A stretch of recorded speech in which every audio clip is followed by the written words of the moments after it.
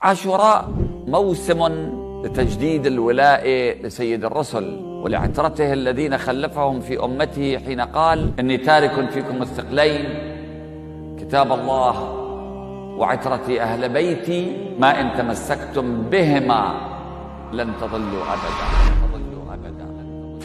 وأحياء هذه المناسبة فرصة للانتفاضة ضد أهواء النفس وطغيان الظالمين. فليست الشعائر الحسينية هذه إلا امطارا خيرة تغسل القلوب من أدران الانشغال بالدنيا عن الدين والانشغال بالمصالح عن المبادئ والانشغال بالولاءات الباطلة لحاكم هنا وأمير هناك عن الولاءات المطلقة.